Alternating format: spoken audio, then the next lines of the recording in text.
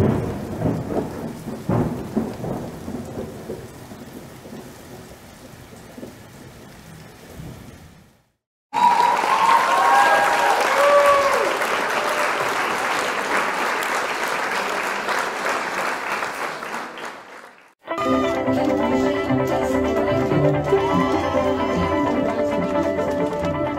na pong ibang panahon para muling ibangon ang syudad.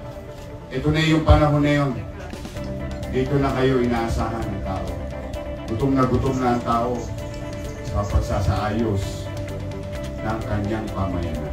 Kaya, ngayong araw na ito sa mga taga-BIB, anyway, ito pong gagawin namin, simple lang ito. May nakita kasi ako dito. So, 20 ko na yan. Ayan. Hindi makilala ito mga ito eh. Dito ka, dito. O, saan kayo nakakita? Siyam na taon, pitong taon, puro J.O. Buwan, tuwing anim na buwan, kinakabahan.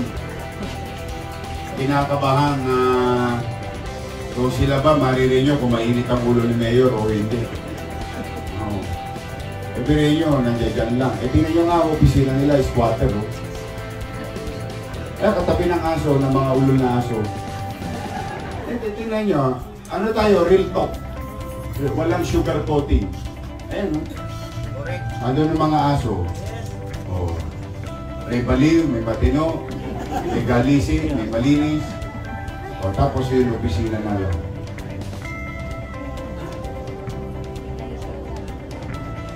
Ito talaga, ito, bitas. Ito ang simbolo na ginahasa ang gobyerno. Ito yun. Paano kami makakapamuhay kaming mga kawani ng pamahalaan sa isang air-conditioned building? Maganda, maayos, malaki. Pwede nga kami mag-bowling eh, sa laki ng City Hall. Pero itong mga kawani namin, tingnan nyo opisina nila. Kung hindi dyan, squatter, doon.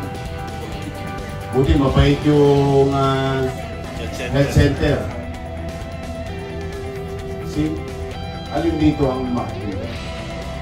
O ngayon, natsambang ko to. Hindi mo hindi ako ng bakit. O yun na. Ganda ko nga ng J.O.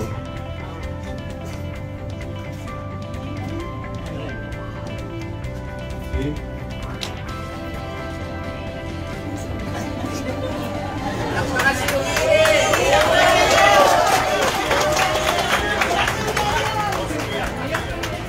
Basta tandaan ninyo, mga chairman, for evil to succeed is for good men to do nothing.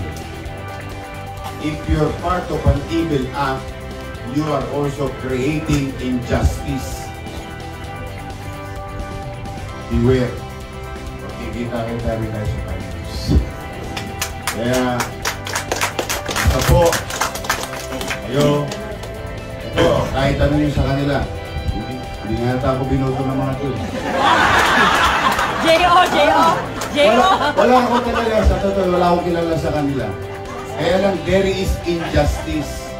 There is, there is, hindi ko maatin, maya-maya kakain ako ng adobo, sila kakain ng tuyo. Pero pare-pareho kami kawali ng pamahalaan. Masakit eh. No? Kaya kami, sa maliit namin kaparanan ni Ani, eh, pipilitin namin maituwid yung mga konting uh, baluktot. At sana kayo eh, makisa na rin. Masaya ba kayo sa nababalitaan nyo sa Maynila?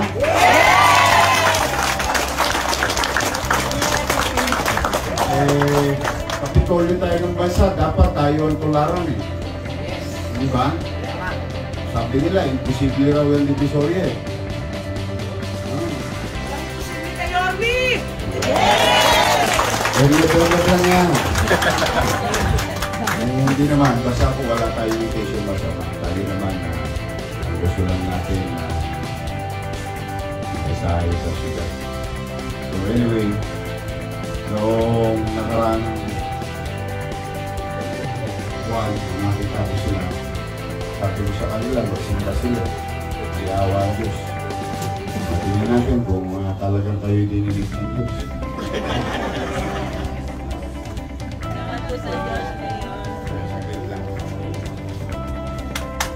Alright. Palapakan natin.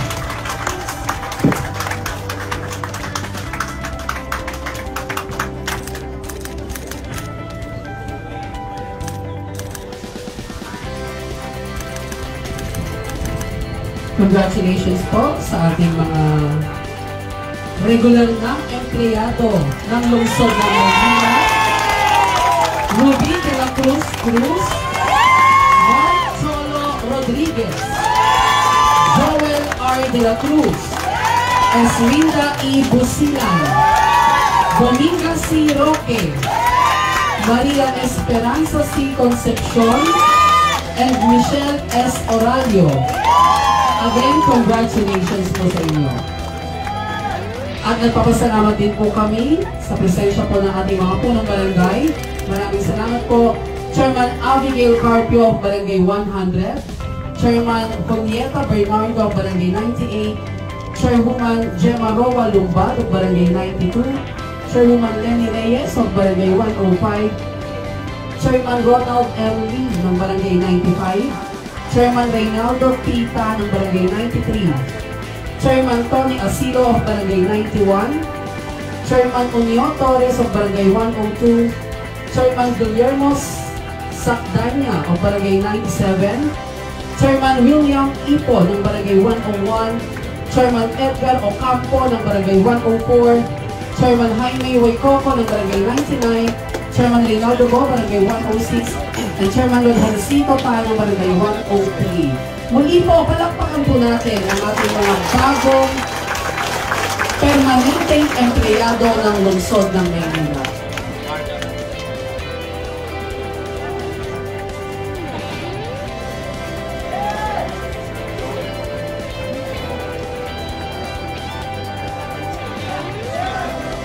Mag-asawa ka na, Joel!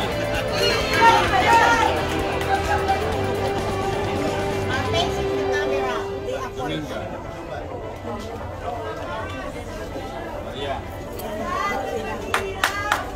Muli po, natin sila.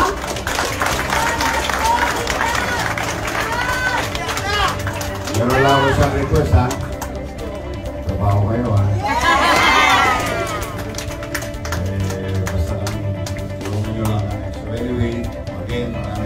Maraming maraming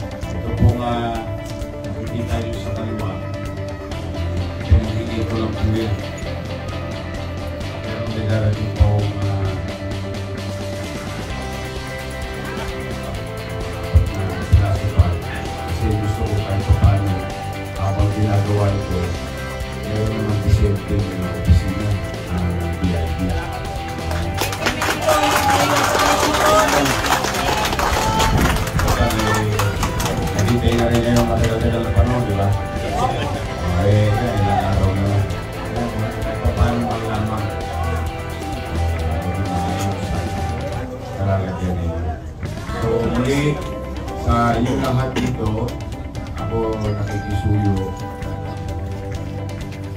Eh, sana tulungan niyo na kami. Yes! Ano, mahirap maging mahirap. Mahirap maging mahirap.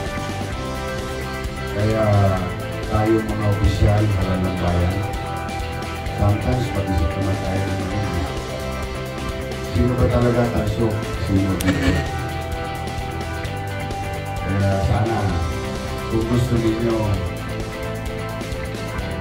yung bang gawin na lang natin, huwag na para sa atin. Ito lahat naman tayo dito, may anak. Lahat tayo may anak, ano? Di ba inabot na natin ng dilubyo, bagyo, tugyo, gulo. Di ba lahat inabot na natin, ano? Pwede ba magtulong-tulong tayo lahat? Huwag na natin ipamana yun sa mga anak natin.